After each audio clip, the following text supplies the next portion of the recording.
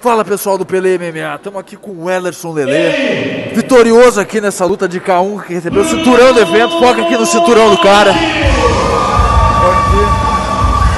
Tchê, luta duríssima! Faz a tua análise desse combate. Boa noite aí o pessoal que comprou o perfil, tá assistindo, acompanhando o X Fest, um baita evento, mais uma vez fazendo uma entrevista, tá me dando sorte, hein? Ah, foi um baita combate, acabou mudando meu adversário em cima da hora, mas não mudou nada o nosso plano, nosso objetivo, a gente tava focado em vir buscar o cinturão do X-Fest, a gente veio, baixou a cabeça, treinou, mudou o adversário, fizemos um baita combate ali, ele aguentou bem até o final, me jogou uns golpes duros que eu acabei sentindo, aí foi isso, sensação única de ser campeão na categoria, nos maiores eventos do Rio Grande do Sul, e é isso, espero que o público tenha gostado.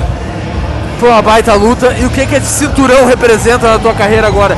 Tu pensa em seguir mais no K1? Vai focar na tua carreira do MMA? Esse, esse cinturão representa muita coisa para mim. Foi, foi um trabalho duro de dois meses trabalhando para chegar nesse momento para mim. Uma baita oportunidade no X-Fest que o Márcio acabou me dando. E tô super feliz agora pretendo focar no K1, que foi a arte marcial né, que eu me encontrei melhor. Tenho o MMA como segundo plano ali, mas o K1 agora segue sendo o principal foco, defender ele nos próximos eventos, enfim. E estou preparado, mostrei para X-Fest que eu posso lutar MMA, cada um consigo voltar preparado para o evento. Sem dúvida. Anderson, deixa um recado aqui pro pessoal do Pelé MMA que está nos assistindo. Gostaria de agradecer o pessoal do Pelé MMA. Obrigado por estar sempre ajudando o esporte a crescer. Isso é muito importante, essa, essa mídia aqui pro evento. Não só para X-Fest, mas todos os eventos da região. Isso é muito importante. E fica aqui meu abraço para todos os atletas que querem participar do X-Fest, estão participando e são campeões, tá? É isso aí. Muito obrigado, pessoal. Valeu, pessoal. Elson Lelê.